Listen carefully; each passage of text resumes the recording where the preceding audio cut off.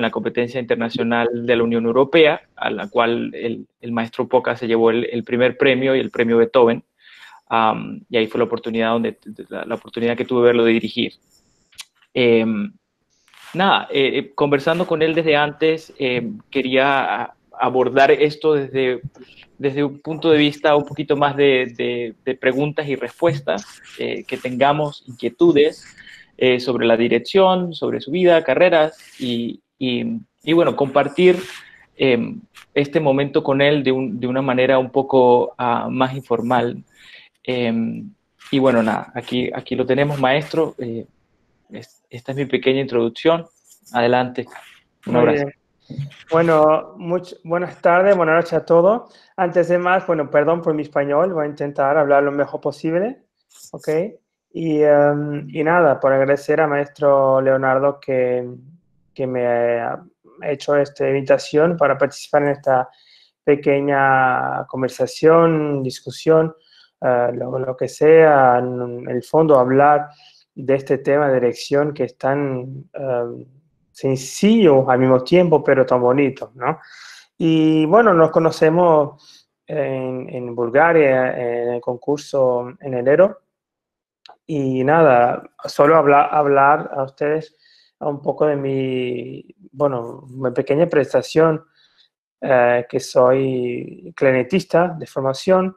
Empecé muy, muy tempranito, a los seis, a los siete, y, y nada, y luego hice mis estudios, me gradué en, en, en, Menoporto, aquí en Portugal, y bueno, desde muy joven la dirección siempre estuve un poco en mi, en mi, en mi cabeza, ¿no? Y así que en 2007 eh, decidí irme a Suiza, a Ginebra, y donde, bueno, entre, otras cosas, aprendí español con mis amigos todos venezolanos y muchos colombianos, muchos sudamericanos, y se me quedó hasta, hasta ahorita. Y nada, ahí me gradué estudié cuatro años en Ginebra, en la Haute École de Musique de Genève. Es una escuela, bueno, con mucha tradición. Y nada más que los, los estudios de dirección también una experiencia de vida muy, muy, muy importante, porque ustedes saben que Suiza, eh, hay pocos suizos en Suiza, así que hay muchos extranjeros, y sobre todo en Ginebra, donde está Naciones Unidas, donde están todas las organizaciones internacionales.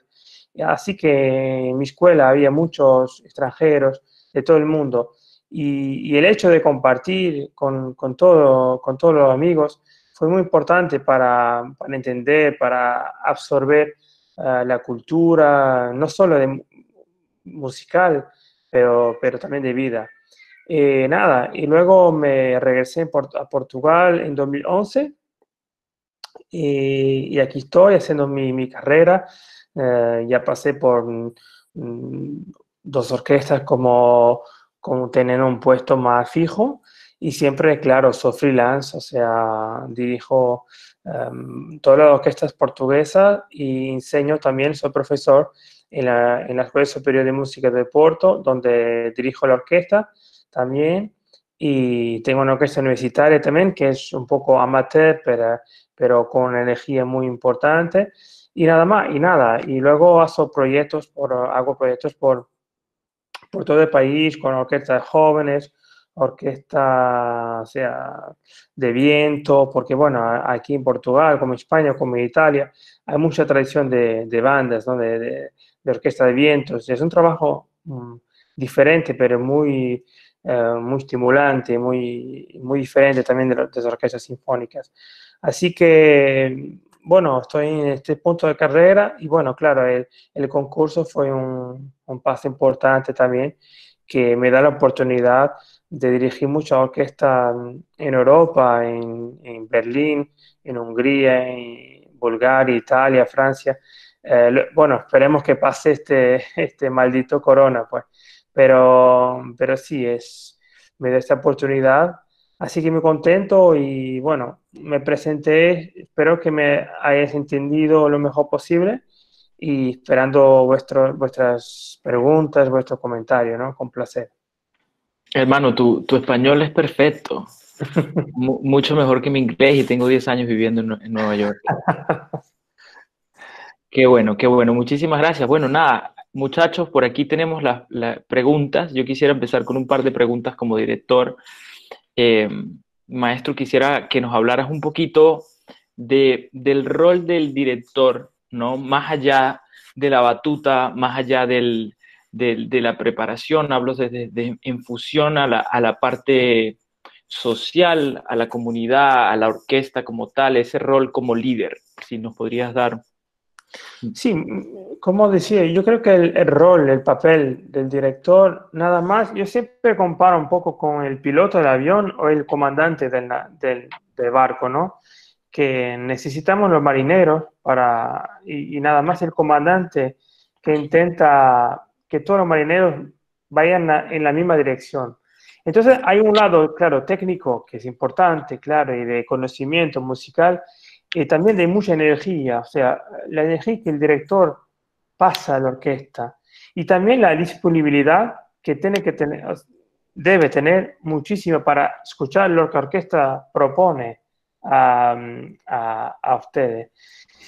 Entonces creo que es un papel un poco de escuchar, de proponer, nada más que sino proponer, o sea, no es impor, como se dice, no sé si es en español, pero eh, no es de algo dictatorial, sino algo de yo propongo algo, pero tengo que, tengo, mi idea tiene que ser imponer, gracias. Eh, gracias, Camilo. Eh, no es imponer, pero sino propon, proponer, ¿no? Eh, yo propongo algo, mi idea, y tiene que ser muy convincente, muy clara y lógica para que los músicos eh, vayan conmigo y no, y no cada uno con... Porque claro, eh, y sobre todo hablando de música de Beethoven, Mozart o de los grandes, cada músico en la orquesta tendrá su, su propia interpretación, es normal. Pero el, el, papel, claro, el rol del director, nada más que agregar todo eso, ¿no? Como que hace que la orquesta se una y no, y no que se escuche diferentes estilos. Yo creo que es lo más importante. Y claro, y en eso quiere decir que uno tiene que adaptarse a la orquesta que tiene delante. O sea, no es que yo estoy delante de la orquesta, no sé, New York, eh, no, estoy delante de la orquesta de, no sé, eh, de, de, eh, de Caracas o de, de, Río de Janeiro en Brasil, como si fuera dirigiendo la orquesta Filarmónica de Berlín. O sea, uno, uno tiene que adaptarse a la orquesta que tiene delante. Y para mí el papel principal, ayudar a la orquesta que suene lo mejor posible. La orquesta que, que, que esté adelante, pues, que esté delante. Y eso es lo importante, de, desarrollar lo que tenemos delante. Para mí lo más importante. Maestro, ¿y cómo, ¿y cómo te preparas, digamos, para los conciertos que se te vienen ahorita después de la competencia eh, por parte del premio, que son conciertos por toda Europa? ¿Cómo, cómo te preparas para asumir el reto de, de, pararte enfrente de una nueva orquesta profesional por primera vez? ¿Cómo, ¿Cómo ha sido esta preparación? ¿Cómo ha sido el post-competition? Sí, mira, yo iba a hacer mi primer concierto de la competencia ahora en abril. Era la semana pasada en Bulgaria. El 23, ¿no? El 23 era con, con Pasajic Sinfonía Orquestra, con la segunda Beethoven, con concierto de Mozart de piano, la abertura de Beethoven, por este año Beethoven que estamos viendo.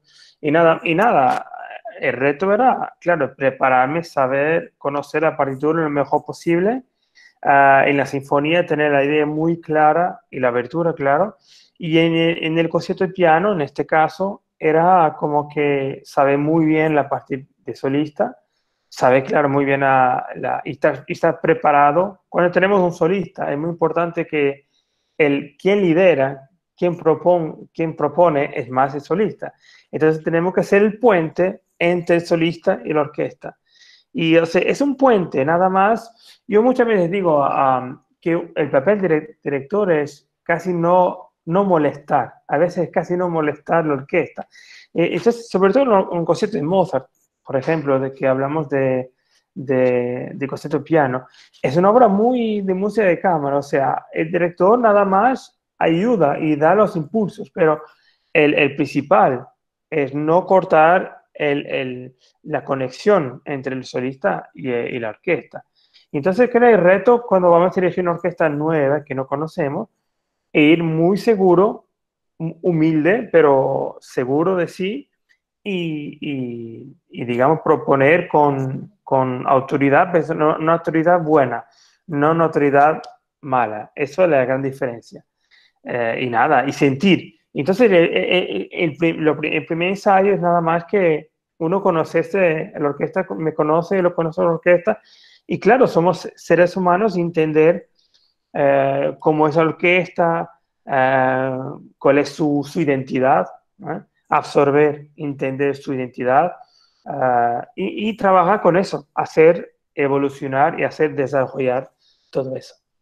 Buenísimo, hay un punto, un punto súper importante que por cierto lo hablamos en la competencia cuando hablas de los, de los impulsos. Em, si nos puedes desarrollar un poquito más en, el rol del director, el no hacer de más y lo, lo, lo, de, lo que parece simple es de hecho muy complicado, que es saber dónde, que tocaste este punto muy importante, saber dónde no molestar a la orquesta. Eh, es, es el viejo dicho que es uh, less is more. Less is more. Less is more, que es, es fulcral, es importante. Menos es más. Menos es más, porque el hecho de ser menos nos permite escuchar mejor. Eh, y la orquesta no necesita siempre que tenemos mucha actividad, mucha energía. A veces necesita que uno deje la orquesta sonar. Y en algunos momentos la orquesta espere que estemos ahí. Yo creo que si miran bien los, los grandes directores, es la clave puede ser esa, es saber cuándo ser más activo y cuándo no debe ser tan activo, ¿no? Eh, más pasivo. Claro, pasivo no es, no es, no quiere decir dejar y alejarse completamente de la cosa, o sea, quiere decir estar con los músicos, pero acompañarlo, estar ahí y el, y en los puntos esenciales, ahí estamos, ¿no? Yo creo que, pero eso es difícil de explicar, nada más tienes que sentirlo, al, bueno, cuando lo hace más, más y más. Entiendo, entiendo. Y, por ejemplo, para un director joven que está empezando, estoy pensando un poquito en la, cátedra de dirección y en los, directores, la nueva generación de directores eh, que, que, está preparando la UNAP. Eh, porque es un poco confuso, ¿no? En el, hecho que te digan dirige menos, pero cuando estás ahí quieres, quieres dirigir más y, entra la pregunta de confiar, ¿no? La confianza en, los músicos y, lo, complicado y el proceso. Si nos puedes contar un poquito cómo fue ese proceso. Sí, sí, e, es normal cuando estaba empezando. Queremos, queremos mover, mover mucho y, o sea, ¿qué decir? ¿Cómo decir? Ah, dirigí mucho, mucho gestos, muy grande, todo. Pero yo me acuerdo, le puedo compartir con usted una, vez, hizo masterclass con el maestro que falleció hace pocos años español, Jesús López Cobos, que era un gran director español que incluso trabajó mucho en Estados Unidos con Cincinnati y, claro, mucho en, en mucha ópera y todo, en Suiza y todo. Y él decía, y hacemos la octava de Bruckner, y tenía una orquesta delante de mí con 100 músicos, 100, 110, era una orquesta edificante. Y yo, yo, en esa época dirigía sin batuta. Estaba en proceso de cleaning, de limpieza de, técnica. Entonces mi profesor dijo, bueno, ahora pasamos la temporada sin batuta. Eso, eso es otra cosa importante también, la cuestión de batuta, con o sin, como, bueno, es, es otro... Otra... Me acuerdo que para la primera, la primera ronda en la, en la competencia dirigías después que yo, creo, o uno o dos. Yo sí, sin batuta y luego lo, lo, conversábamos. Sí, sí, porque yo dijo, bueno, voy a elegir piano cuatro manos, algo sencillo, algo así muy camerístico, y me siento más a gusto, más confortable sin batuta, pero, o sea, yo creo que la batuta tiene, tiene una, una función muy, muy, muy definida, muy importante, pero muy específica. Pero regresando a la historia de Bruckner, entonces teníamos una orquesta gigante y yo también sin batuta. Yo pregunté al maestro López Cobo, maestro, quizás yo sin batuta tampoco. No, no, tú tranquilo. Si tú, si tú conoces la música y, funcionó, yo cuando cada vez hacía menos y la orquesta tocaba más junta, sonaba mejor. ¿Por qué? Porque si, si hacemos poco y de repente hacemos mucho, tiene efecto. Si la orquesta, si el músico delante de nosotros ve, mucha, ve demasiado movimiento siempre, no, cuando queremos hacer algo importante, no, no hay espacio. Y claro, y uno cuando está empezando piensa, no, no, pero tengo que, como si, tengo que enseñar, tengo que mostrar que, que domino, que, que, conozco la paritura, que, que, bueno, que conozco el compás y tengo súper técnica, pero no. Yo creo que es saber el esencial y no demasiado. Eh, entonces, es a veces difícil de, de explicar así, pero que es hacerlo, cada uno tiene su estilo, claro uno ve diferentes directores que, que, tiene, que, tiene, que dirige con un gesto muy grande, pero creo que less, is more, eh, es eso. Buenísimo. Maestro, y, ahorita acabas de tocar un tema súper importante que, que, va con, directamente a la, a la, personalidad ¿no? de cada director. Eh, recuerdo que conversamos mucho del hecho de, de intentar no imitar, a, ningún otro director y es algo que también eh, Domingo Indoyan, que es un, amigo en común, eh, maestro venezolano, que es pupilo de Barenboim, eh, nos dice mucho, ¿no? El, no imitar a otro director, ni el intentar parecerse a Abado o la gente que dirige, o en Latinoamérica mucha gente dirige como Gustavo, por ejemplo, y, es, y es, viene de un punto de admiración, pero ¿qué, qué, cuáles son las cosas positivas de admirar a alguien y de tomar Em, aspectos sin haber pasado por el proceso que los llevó a estas personas a llegar a lo que son y a dirigir como dirigen. Mira, hay, hay siempre un dicho también que se dice que la imitación es siempre peor que el original, ¿no? Eh, ¿no? Entonces quiere decir que es normal que nos, todos nosotros tenemos nuestros ídolos y es normal que vamos, vamos a, a coger cosas que, o sea, gestos o expresiones de, de, Gustavo, de de Abado, Carlos Kleiber, bueno, los grandes Amarratas, lo que sea. Claro, importante, pero lo, más importante es uno como que mirarse a sí mismo, entender eh, y, que, y, que, tenga un profesor que nos mire, como yo soy José, Leonardo, eh, Marlon, Rafael, lo que sea, y gente, y mirarse y, y desarrollar nuestra lengua, nuestro, nuestra body, body communication, ¿no? Sí, sí, sí. Eh, nuestra lenguaje de cuerpo, nuestra, y no, y no la lenguaje de Domingo o Gustavo, ¿sabes? Eso es muy importante, porque si no, va a ser artificial. Siempre buscar la naturalidad y no artificial, porque si copiamos, no viene de nosotros, viene de fuera, y la música tiene que salir de mí mi gesto tiene que ser natural y no porque Abado lo hacía así. entonces es muy importante buscar su propia naturaleza o naturalidad. Buenísimo. Por aquí tenemos una pregunta de, de Daniel Josué Barbosa. La pregunta es relacionada con, el score, el estudio del score. ¿Cómo, cómo aborda el, estudio? Me imagino que su pregunta es desde un principio eh, una obra completamente nueva. Yo creo que, o sea, hay, varias, hay, varias, etapas, ¿no? Varias, varias, varios, pasillos que tenemos que, que, irse. Lo primero, claro, yo me acuerdo que mi profesor me decía al inicio cuando compramos una partitura que nada más que eh, sentirla, ¿no? Uh, o verse, como se dice en español. oler. Oler, ¿no? Sí.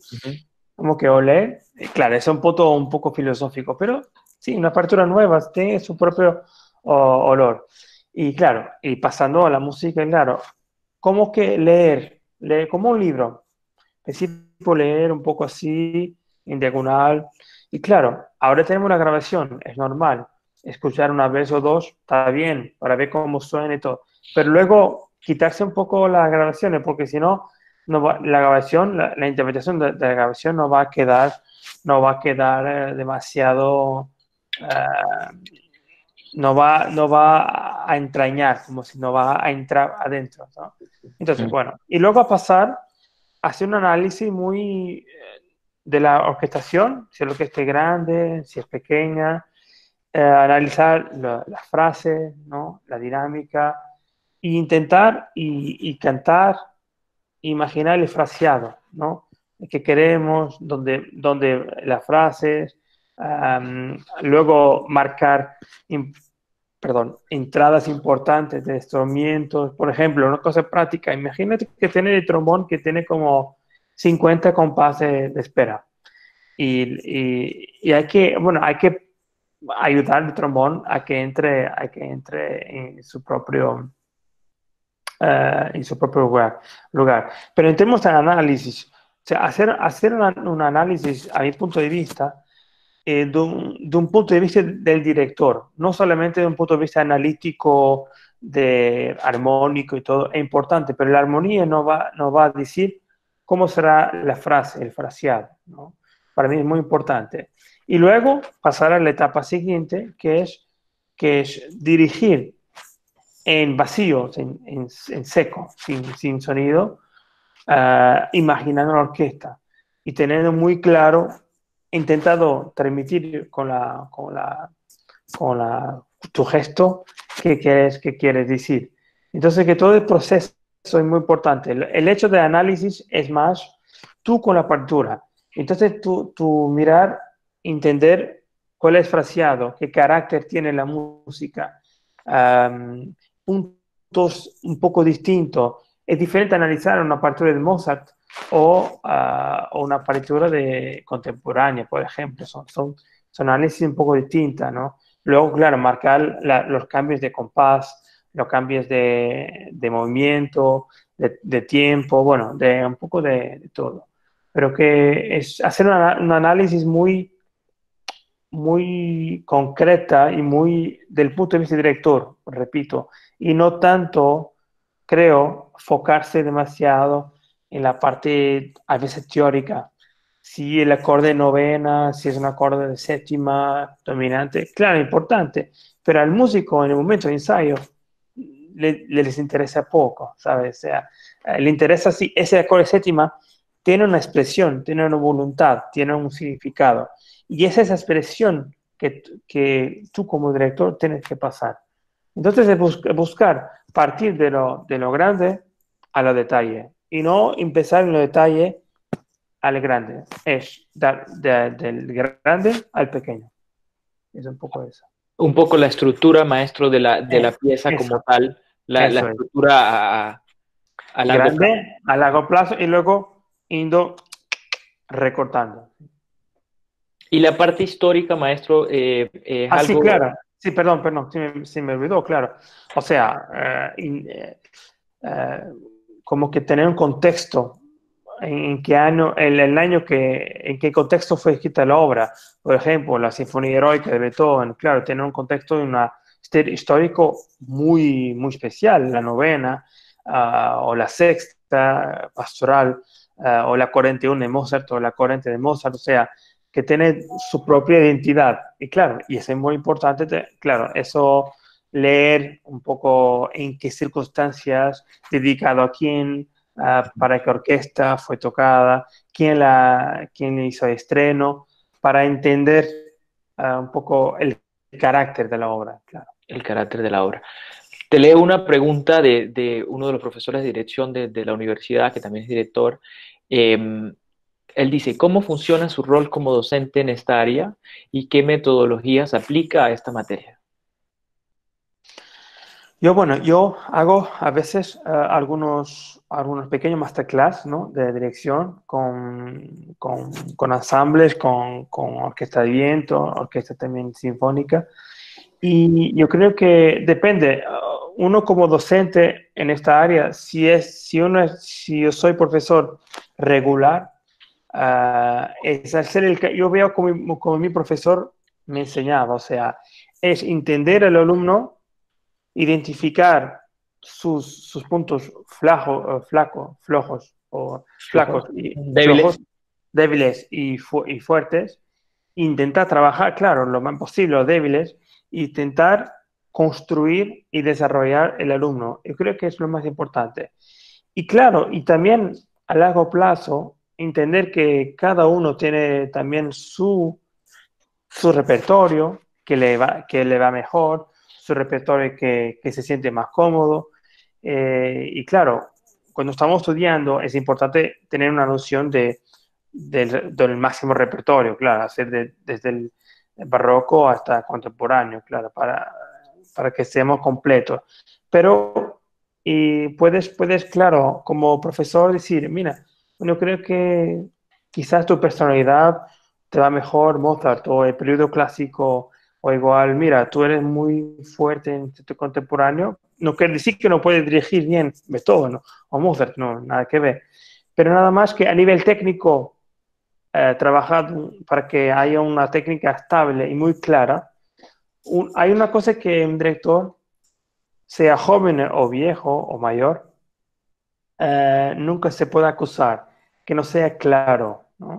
Como yo ahora voy a orquestar por la primera vez, si yo no soy claro, uh, la orquesta empiezo como, no entiendo, algo así. Entonces, que como profesor, em, yo creo que es muy, muy importante de transmitir esta, esta base técnica muy sólida y muy clara, ¿no? Y luego, aparte de ahí, construir, construir algo más, más sólido, más completo, ¿no?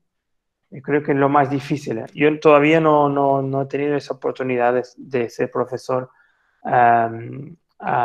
digamos, a un largo plazo, pero yo, yo me imaginaría eh, hacer eso, o sea, construir algo, un, alumno sólido a nivel técnico y también, claro, muy inteligente aquí también trabaja también, también el lado psicológico del, director, que es otro, otro gran tema, ¿no? Entender, eh, manejar el ensayo, manejar eh, una orquesta con su diferente personalidad.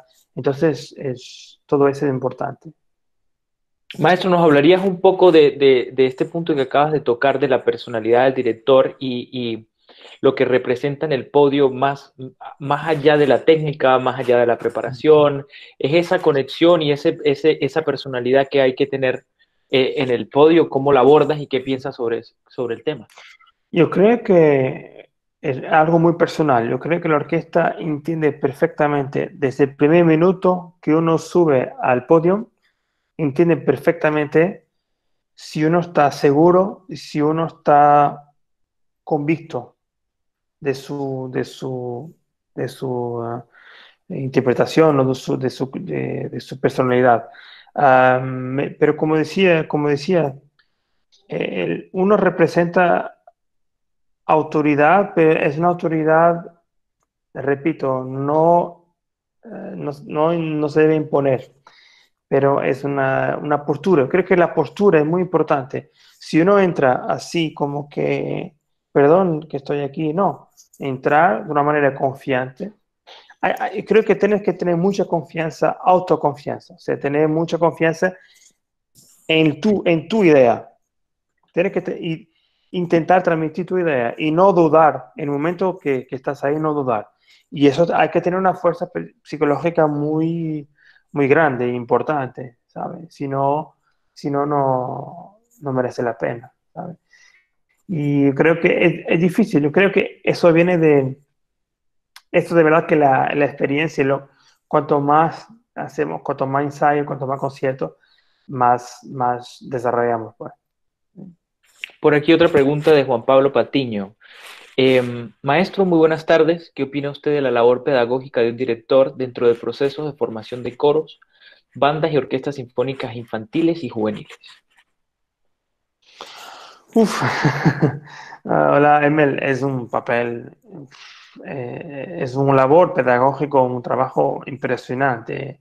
Y de nuevo, es un trabajo muy distinto de lo que hacemos con, con orquestas profesionales, porque uno llega a una orquesta profesional y repito, la orquesta tiene su personalidad, su identidad, su propia manera de tocar, su propio sonido, su propia técnica, su ritmo, y uno tiene que también incorporarse ahí.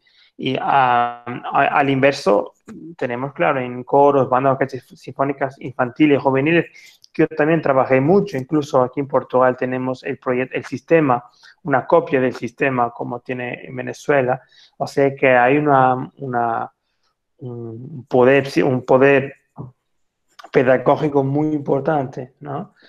Ah, así que yo creo que, o sea, no sé qué, en qué punto Emel quiere decir, eh, señor Villarreal, de labor pedagógico. Creo que es, o sea, es un, es un labor importantísimo y que muchas veces uno que es, director profesional no, no da el, el merecido valor que tiene, ¿no? ¿Sabes? Y yo también trabajo mucho con jóvenes y tengo mucha atención porque los jóvenes, sobre todo los infantiles, lo que es infantiles o juveniles, ellos como que absorben todo lo que el director hace o dice. Entonces tenemos una, responsabilidad eh, en cuanto directores eh, de cómo pasamos la información a, a, los, a los muchachos, ¿no? Y entonces es muy importante. Así que yo, o sea, tengo mi venia al, al, trabajo con las orquestas infantiles, ¿sí? Y es un labor muy específico y muy distinto, repito, del trabajo con las orquestas profesionales, ¿no? Donde hay que, se puede y se debe ir, ir al, más al detalle, quizás técnico, que con la orquesta profesional no, no, no tiene que ir tanto, claro. Entonces, que, pero al mismo tiempo, si puedo también finalizar mi respuesta a, a, a Emel Villarreal, mientras uno, uno da atención a este, a este detalles técnicos con los, con los orquestas infantiles y juveniles, también es muy importante que desde pequeños el papel director de que los músicos se escuchen, que se, que se puedan escuchar entre todos y no, y, o sea, música y cámara, y no solo que son dependientes 100% de la batuta del director, no, desde que empiezan eh, pasar el mensaje en que, eh, atención chicos, hay que escucharse entre todos ustedes. Y entonces, si desde pequeños ellos crecen con esta mentalidad, con esta capacidad de escuchar, yo creo que es, es muy importante. Y no solo a tocar juntos por los ojos y por la batuta, no, tocar juntos escuchando. Es muy importante. Maestro, asumiendo que, la mayoría de los directores eh, profesionales entienden, entienden esto, ¿nos podría dar un poquito de, background en, cómo, cómo es el, la interacción con la administración de una orquesta para llevar estos tipos de proyectos a cabo, eh, cómo abordarlo, cómo, cómo buscar normalmente el patrocinio, cuál es el rol del director eh, como líder, pero también líder desde un punto de vista de llevar estos proyectos a cabo no solamente desde la parte musical, sino desde la parte administrativa, eh, del, rol tan importante que juega un director en, en el aspecto social y en la creación de proyectos. No, yo creo que sí, cuanto más calidad musical y también lógica musical tiene el proyecto eh, a nivel musical e intelectual, puede ayudar al management de buscar más, más, eh, eh, más apoyo, ¿no? Más, más ¿cómo decir? o sea, entrar en la parte de, de, administrativa.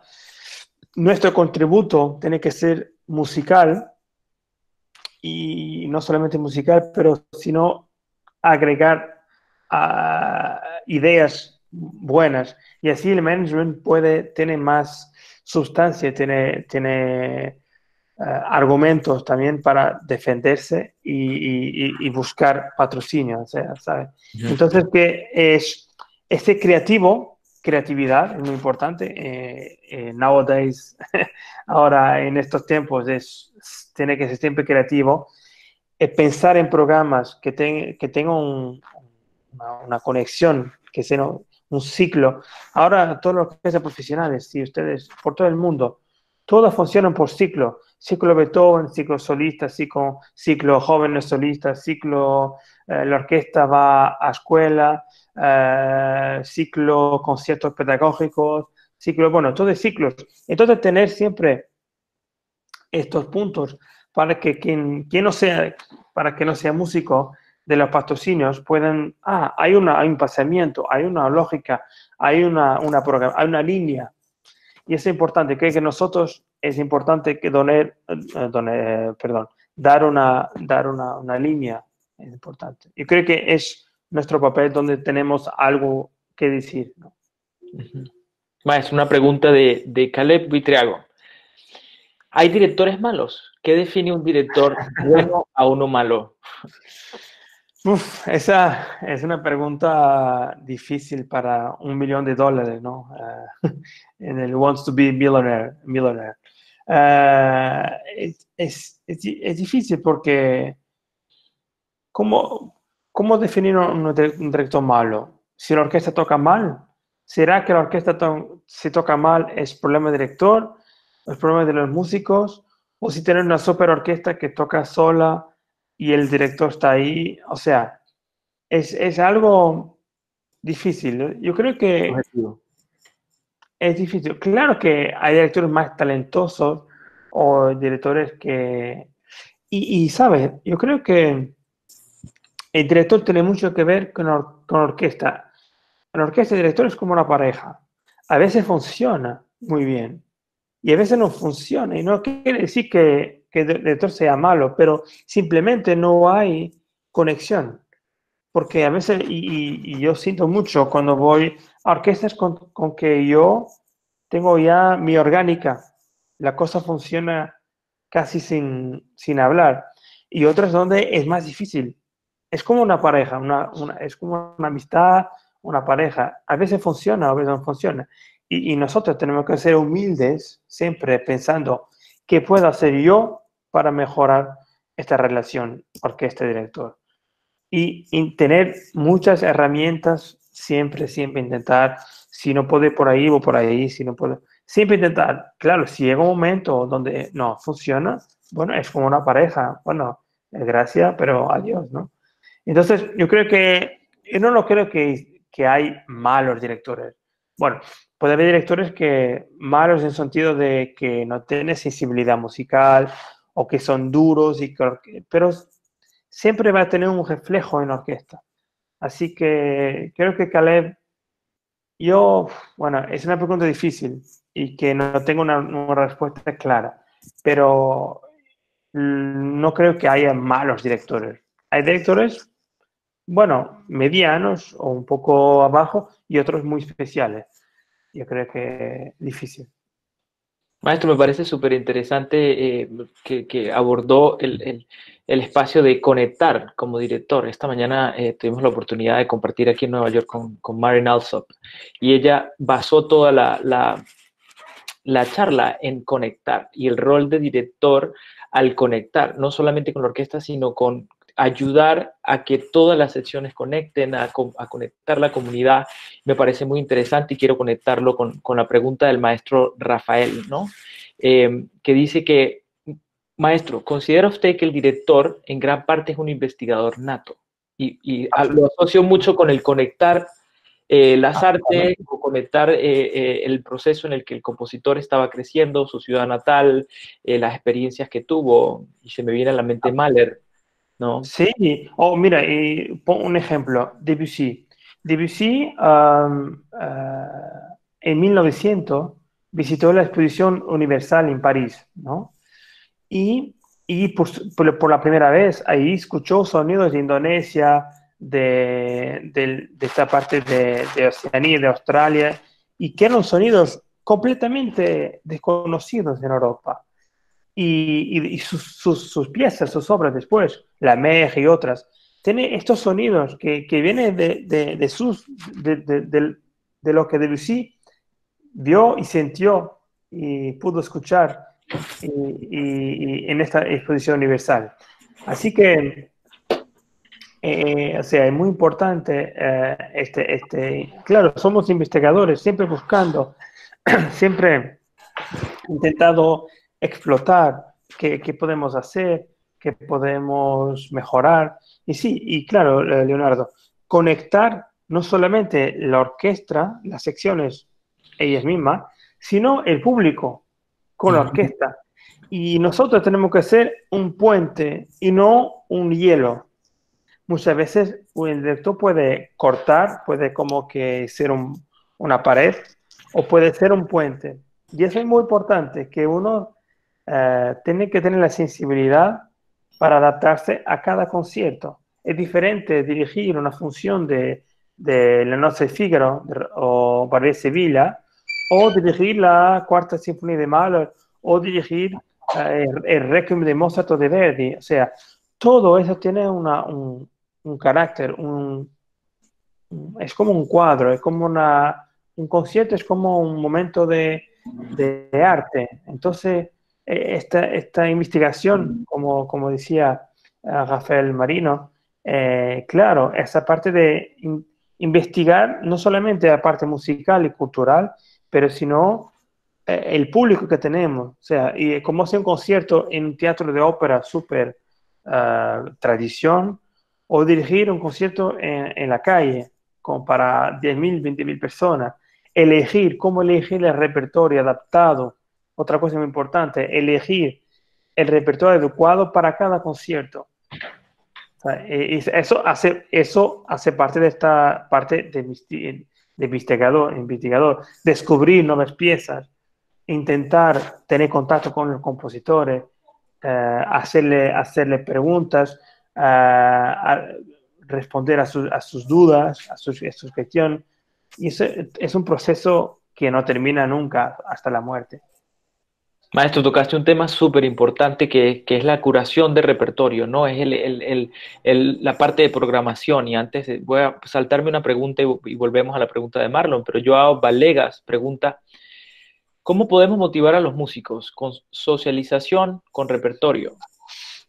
Un abrazo, João, es portugués, no está escuchando aquí, eh, es un portugués, entonces saludos, João.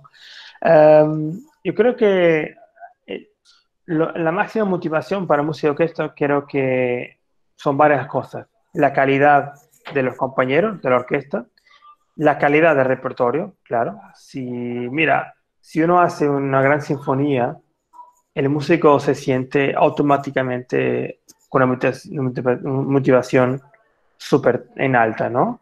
Y claro, la socialización es importante, es un tema también muy importante, el ambiente de los ensayos, la energía que pasamos, un ambiente sano y, no un ambiente pesado.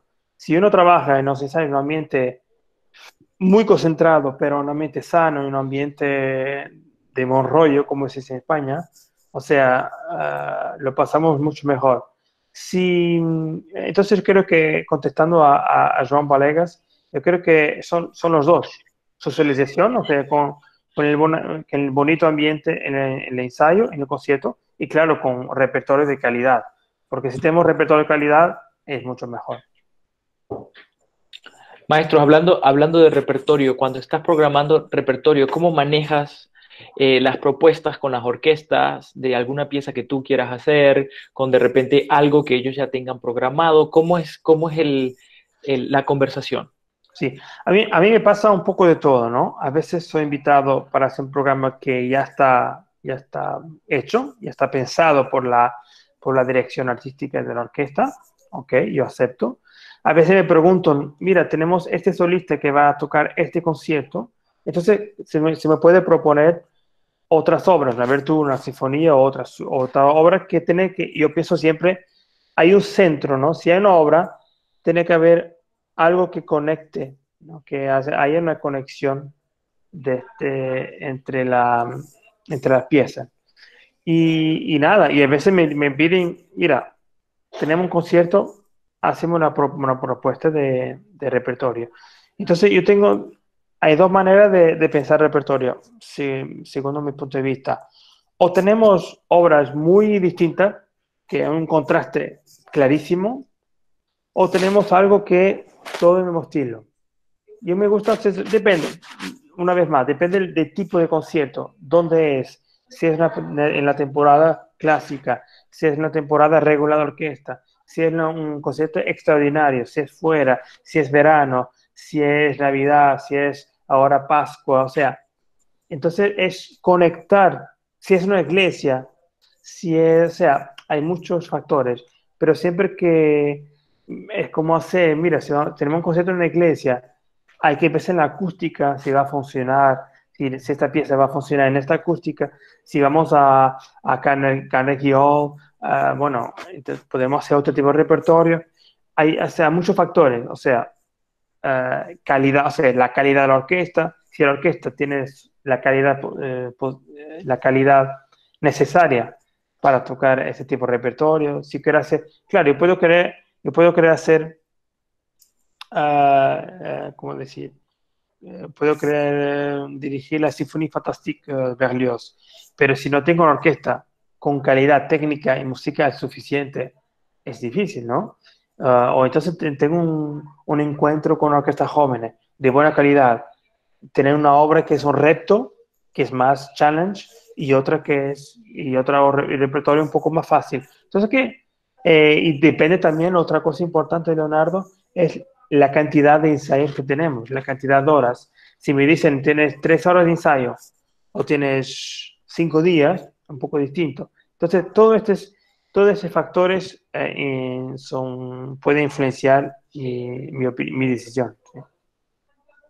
Por aquí tenemos una pregunta de Marlon, eh, que es relacionada con los concursos de dirección, eh, supongo que internacionales concursos de orquesta, de dirección orquestal internacionales, ¿cuáles son los aspectos que crees tú que evalúan eh, los jurados? Y pues en general, ¿cuál ha sido tu, tu experiencia en concursos internacionales? Mira, y esto lo, lo hablamos muchísimo en Bulgaria, ¿no? Uh, que nosotros dos, y bueno, no conocíamos el jurado, y entonces no conocíamos que, y era un jurado muy distinto, ¿no? Muy diferente, y cada uno y creo que valoraba cosas distintas, ¿no? Uno quizás valoraba más la técnica, otro valoraba la capacidad de ensayo, la capacidad de cambiar, la capacidad de transmitir la información con el gesto, otros la fantasía, otros la creatividad. Yo creo que lo importante es tener una, de nuevo una base sólida técnica, ¿no? Que, que conoce muy bien la partitura. Bueno, ese es el primer punto. Segundo punto, la capacidad en un espacio, un espacio muy corto de tiempo, ¿no? Porque uh, en este concurso, por ejemplo, en Bulgaria teníamos mucho, muy, muy poco tiempo para, para enseñar. Entonces, que, tiene que ser muy eficaz, es muy directo, es muy um, rápido y no, o sea, no, no intentar divagar demasiado, o sea, no, no dice por ahí. Entonces, hay, yo creo que en concurso es un poco esto, es en un corto espacio de tiempo enseñar una idea sólida y lógica. Puede ser, o sea, eh, creo que el jurado puede, puede, ser, puede ser que no sea la idea que tenía el jurado musical, pero si es una idea otra, pero lógica y que hace sentido y que la orquesta responde, es, bueno, quiere decir que, que, que, el, que el, director hizo, hizo, su, hizo su papel. Yo creo que, ah, pero eh, el concurso de Bulgaria fue así. Yo participé en, en, otro concurso que, o sea, a veces no pasaba de la, de la primera ronda, eh, otras veces, o sea, fui a final, gané, otras veces me quedé en semifinal. Eh, creo que el concurso de dirección es muy, es muy particular. Cada uno tiene su, eh, valoran cosas diferentes. Y eso, eso es difícil. Más que si fuera un concurso de instrumento. Porque ustedes si un concurso de piano, de violín, mira, hay cosas que son, eh, o sea, muy claras. Afinación, ritmo, las notas ciertas, y luego viene el gusto musical y la interpretación. Pero hay cosas que son claras. Y creo que nuestra afinación, nuestras eh, notas correctas es conocer muy bien la, la partitura, ¿no? A nivel de compás y todo. Y luego viene lo que cada uno puede traer y que puede contribuir que sea distinto. Es eso. La perseverancia también, entonces, maestro, claro. de, de, seguir participando, haciendo concursos. Yo, yo creo que el aplicar, el seguir aplicando, el seguir intentando, el seguir ahí, porque de igual manera, eh, yo creo que los concursos dejan mucho independientemente. Eh, yo creo que uno ya gana el concurso con la preparación, ¿no? Si uno se, o sea, si uno se prepara muy bien para el concurso, uh, ya, ya evolucionó muchísimo y es una victoria. Lo que viene después, mejor, pero uh, y hay que seguir convivir con los nos. Hasta recibir un sí, uh, tienes que escuchar 20, 30 veces no. Y hay que saber reaccionar y, y, y convivir eh, con, la, con, la, con la, cuando lo pasamos peor. Es, es así. Perseverancia y no desistir. Y, y tener que creerte muchísimo. Bravo, sí, sí, total. Maestro, de pregunta de Manuel Llanes. ¿Cuál es la orquesta que mejor impresión le ha causado en su trayectoria como director?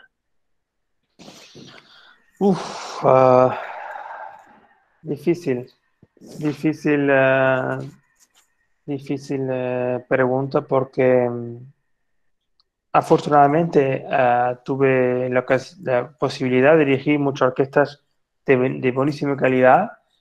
Entonces sería injusto, de verdad, no, no digo esto por que es la respuesta diplomática, pero no, que, mira,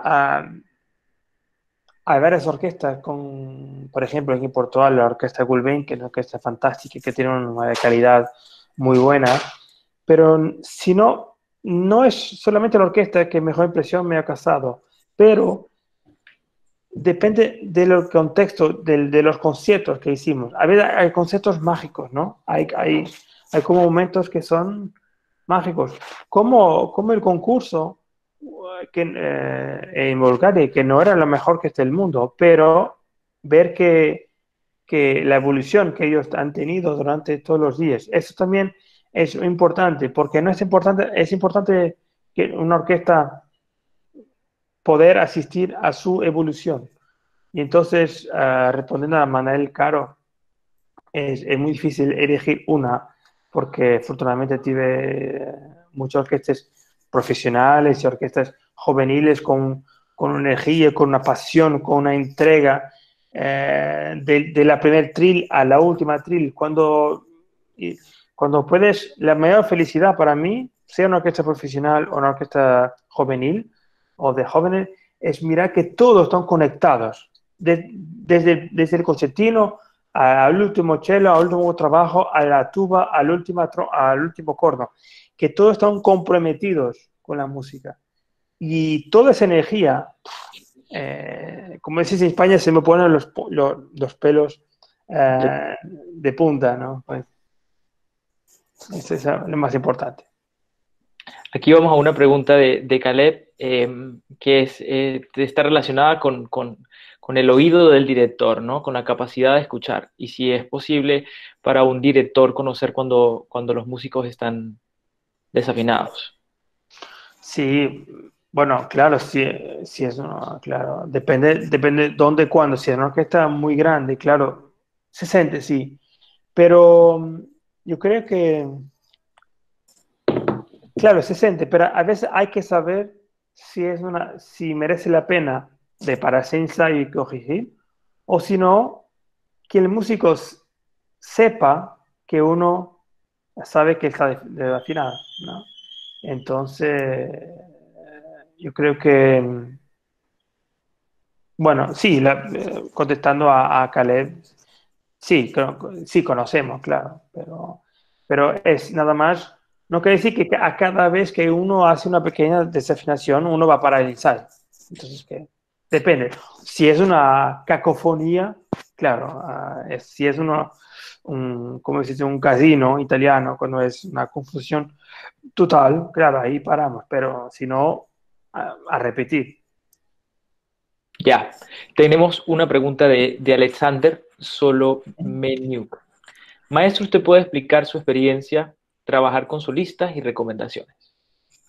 Mira, el trabajo con solistas es muy fascinante, ¿no?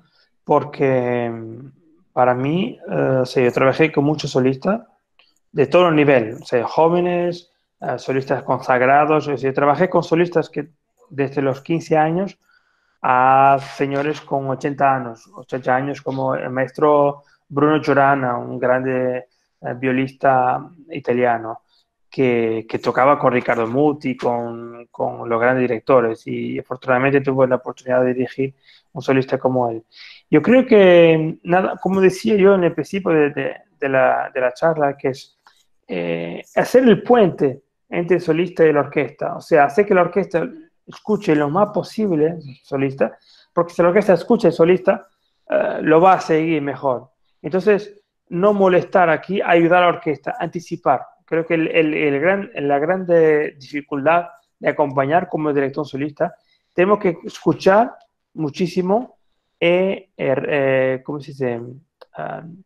Uh, reaccionar muy rápido si, él hace, si el solista hace algo distinto. Entonces está siempre muy listo para, para, para acompañarlo. Es, lo más, es la recomendación que yo puedo dar a directores que trabajan con solistas es escuchar, conocer muy bien la parte solista y, conocer los, puntos clave, los puntos difíciles de la obra, cambios de, cambios de tempo, ah, cambios de, de, carácter. Entonces, es eso.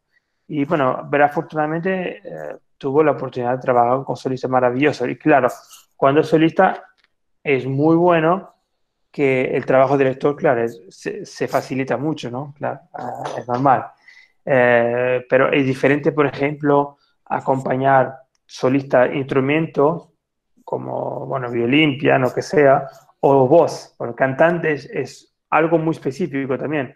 Por ejemplo, acompañar ópera, los cantantes siempre hacen algo un poco distinto porque la voz es ah, muy distinta. Entonces hay que, hay que estar preparado y nunca pensar, mira, va a ser así. No, puede ser de otra manera. Esa, es la gran dificultad, pero la gran magia también.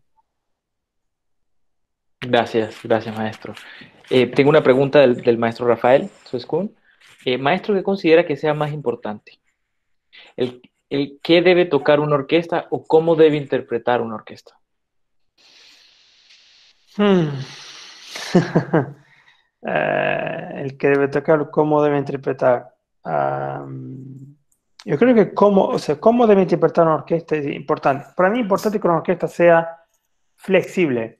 Cada orquesta, como, como repito, eh, tiene, su, tiene su identidad, su personalidad, ¿no? su repertorio también. Uno sabe que, eh, por ejemplo, bueno, una orquesta, cada orquesta tiene su repertorio que, que, le, que le va mejor. Pero la orquesta un ejemplo, la Filarmónica de Berlín. Su, para mí su gran calidad, aparte de, calidad individual de los músicos, de los solistas magníficos, directores muy importantes, es la capacidad de cada uno, cada músico y la orquesta en general, ser flexible a interpretar Tico Tico de Fubá o Silvestre Revueltas o la cuarta Tchaikovsky o una pieza contemporánea de Pierre Boulez. Entonces, es esa capacidad de cambiar de identidad lo más posible y adaptarse a la partitura.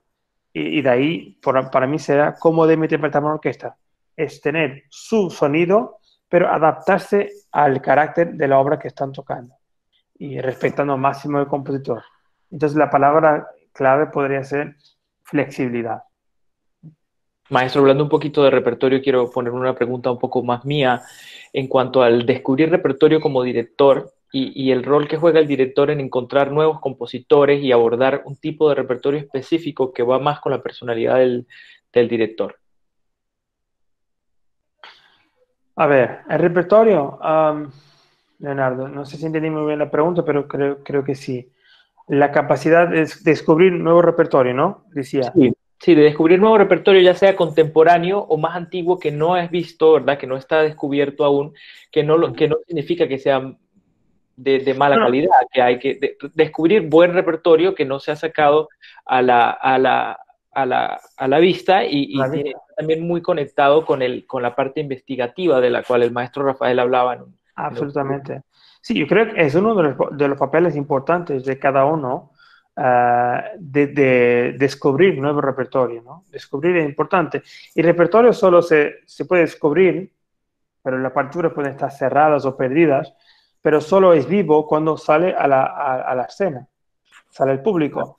Porque imagínate que las obras de, de, en el tiempo de Mozart o de Beethoven habrían muchos compositores, pero claro, no eran tan tocados como los, las obras de estos compositores, pero había otro repertorio. Entonces, que es nuestro papel fundamental investigar y como que programar siempre lo más posible nueva música la música tiene que ser viva, tiene que ser, tiene que ser tocada. Si no, es, es, solo papel o ahora ordenador. Entonces no tiene, no tiene ningún...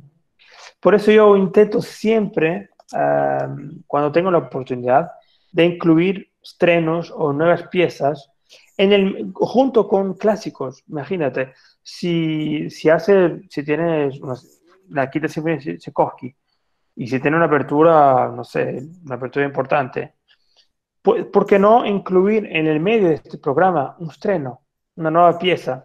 para que el público descubra y puede compartir. Y cuanto más tocamos nuevo repertorio, mejor. El, repertorio es fresco, para los músicos también es fresco y les va a ayudar también a interpretar los clásicos. Me explico.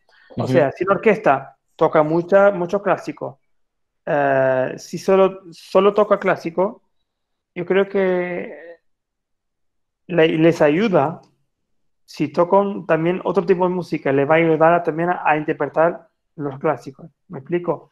O sea, es un poco es nuestro rollo, nuestro papel de, de investigador es muy importante el repertorio. Maestro, ¿alguna experiencia que lo marcara como director sin contar los concursos de Camilo Vecino?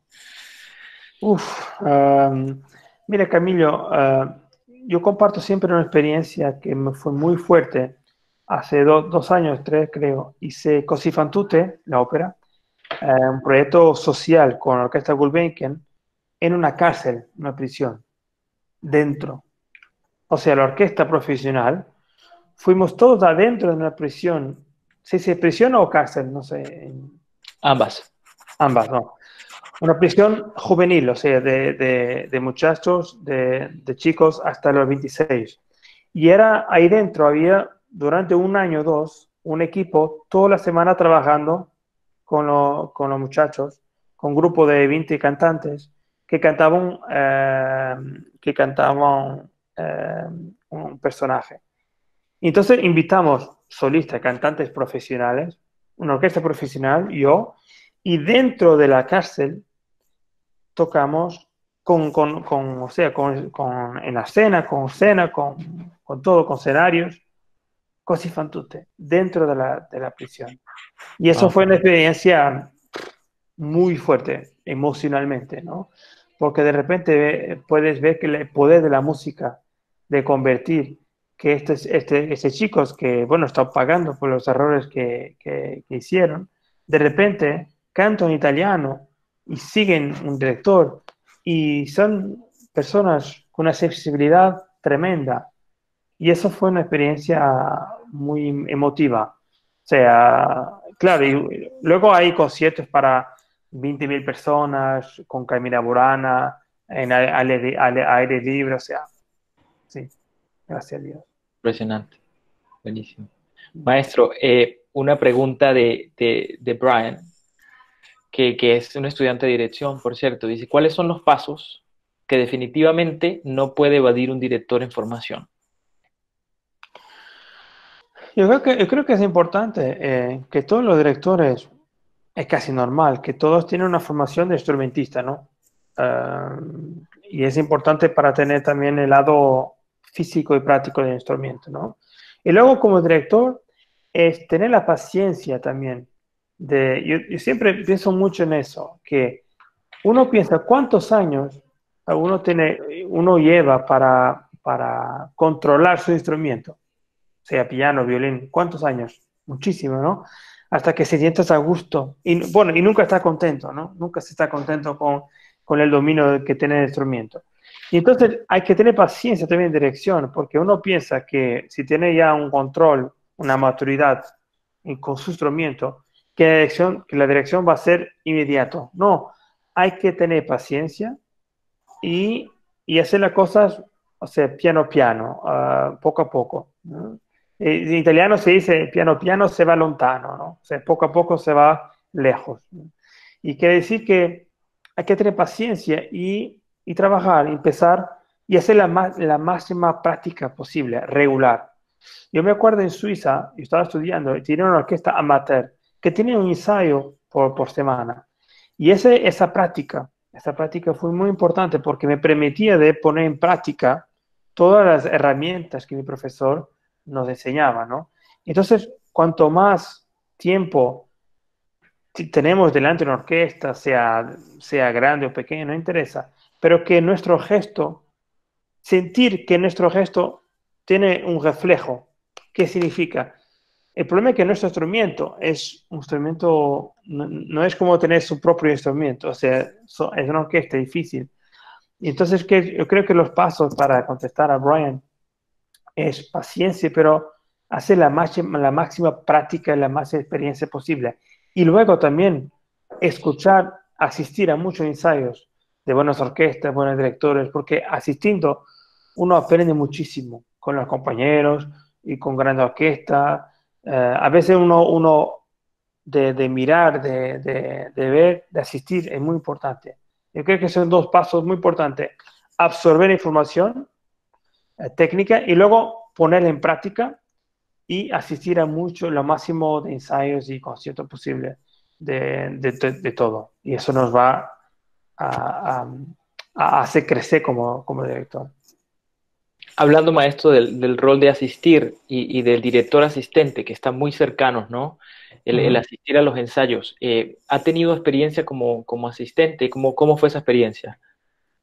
Mira, yo, yo sí, yo tuve bastante experiencia como, como director asistente. De hecho, en mis estudios en Suiza, fui asistente en una producción de una ópera en Lyon, en Francia, donde asistí desde el primer día de ensayo hasta el estreno de la ópera, dos meses. Entonces fue, fue un trabajo muy, muy importante, o sea, de asistir, de vivir el inicio de, de, una producción de ópera, una gran producción de ópera, del inicio, donde vienen los cantantes de todo el mundo, donde tiene una orquesta, un director, japonés, cantantes de uno de Nueva York, otro de Polonia, otro de no sé dónde, y que ahí tiene que construir su ópera, y eso fue, fue importante. Uh, y ahí era asistir, asistir, beber, beber, beber, beber mucha información. Luego con Peter Eötvös, uh, un director y compositor, un compositor muy importante, director de música contemporánea, con él y se fue asistir fui asistente en una semana de trabajo aquí en Portugal.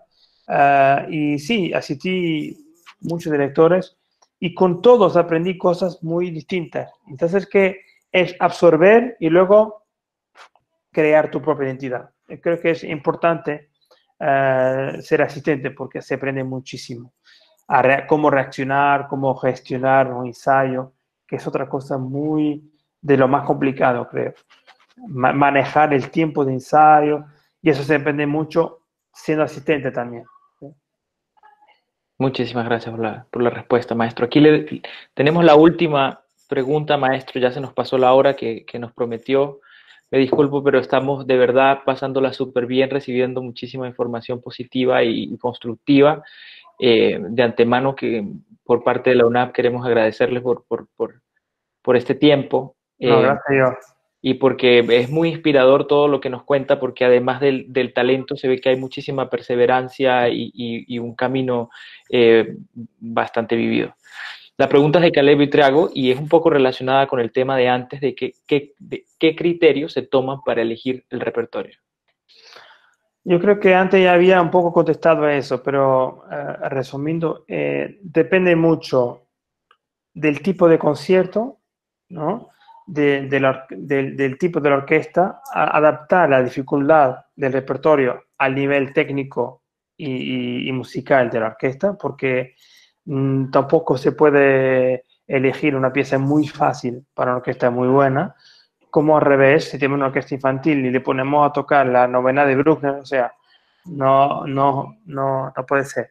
Entonces, que contestando a Caleb, es un poco intentar uh, el contexto del concierto, el local, uh, la calidad de orquesta, uh, el sentido musical, el tema, si es por Navidad, si es por, por, por Pascuas, Semana Santa, si es un concierto de verano, si área libre, o sea, depende de qué tipo de público vamos a tener, si es un festival de piano, o sea, depende, depende mucho. Y claro, si hay una obra, repito, de un solista, eh, ya qué solista quiere hacer, imaginando el concepto de violín de Sibelio.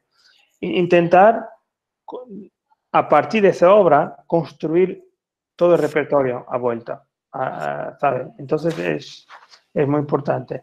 Y solo para también agradecer eh, la invitación y sí que para mí música es compartir. Eh, nosotros nos conocimos y hablamos muchísimo en Bulgaria con nuestro Leonardo que uno aprende tanto a compartir, a escuchar, uh, y es, es muy, es, es, lo, es, lo, más, lo más bonito de la música y de la dirección de orquesta. Quiero, quiero hacerle un llamado a todos para que quiten el, el mute y le agradecemos todos al maestro por, por estar aquí con nosotros. Maestro, muchísimas gracias. Gracias. Maestro, muchísimas gracias. Gracias.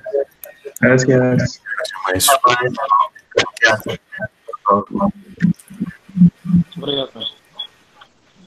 Nuestra forma de conectar de, algún, de alguna manera, maestro, aquí nos escuchamos todos. Por el chat también tenemos un par de, de agradecimientos.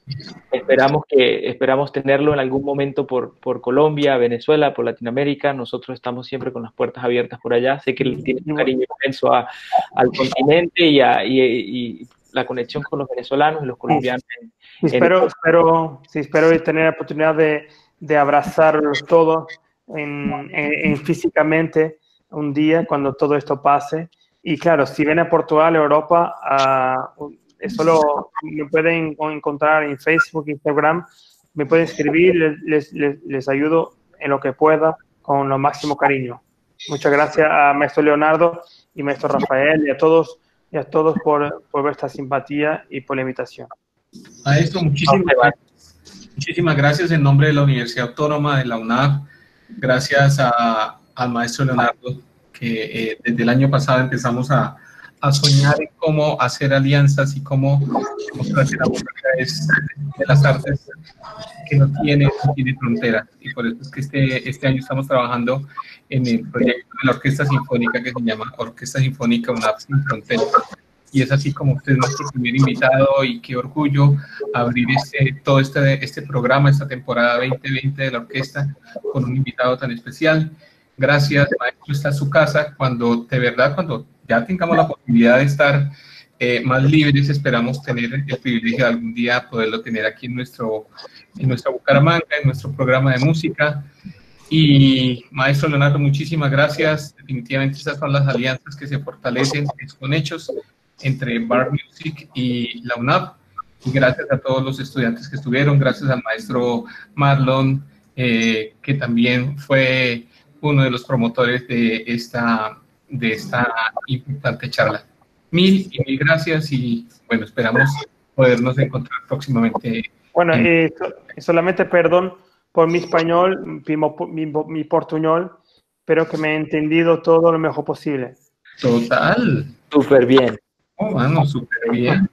Es que yo en mi, jamás en mi vida tuve una clase de español, lo aprendí todo con, mi, con, con mis amigos, con mi, con mi pana venezolano y colombiano, todos los sudamericanos en Suiza. Y bueno, entonces se me, falla, se me falló algo, pues lo, lo, lo siento, lo hice mi, mi, mejor. No, no, no, no, menos mal que no estudió. Buenísimo. Buenísimo.